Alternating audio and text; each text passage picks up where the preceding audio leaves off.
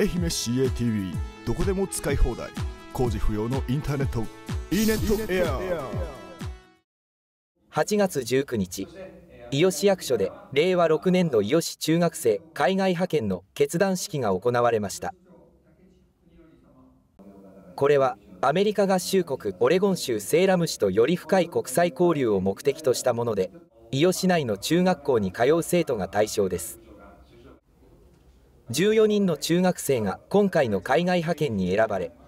21日から11日間セーラム市に滞在します。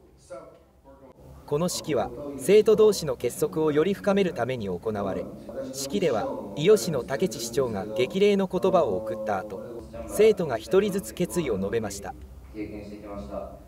この授業に関わる方々と家族に、感謝して、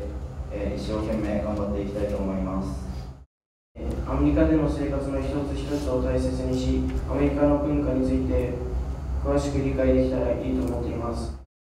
積極的にホストファミリーの方々や現地の人々とコミュニケーションをとって自分の英語力を磨いたりさまざまなことを学んで有意義な海外派遣にしたいと考えています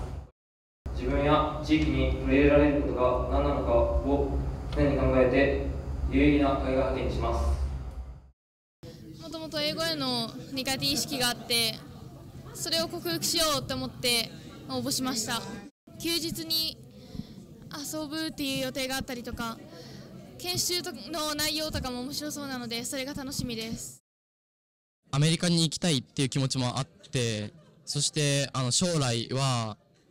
アメリカに行って仕事をしたりっていう夢もあるので、えーこの海外派遣に行こうと思いました。